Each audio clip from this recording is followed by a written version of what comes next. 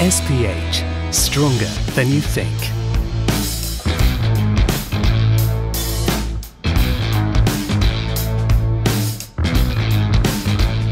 Il test di Mader eh, prende il nome da- dall'inventore tedesco e il laboratorio normalmente si fa con step di 5 minuti incrementali aumentando il wattaggio, la frequenza cardiaca di ogni step. È importante alla fine del test fare il lattato che è quello che comanda poi il test. Appena superate le 4 millimoli eh, ci si ferma e attorno alle 4 millimoli eh, gran parte delle persone hanno la loro soglia e quindi da lì si costruisce il test e si estrapolano tutte le zone e frequenze di lavoro.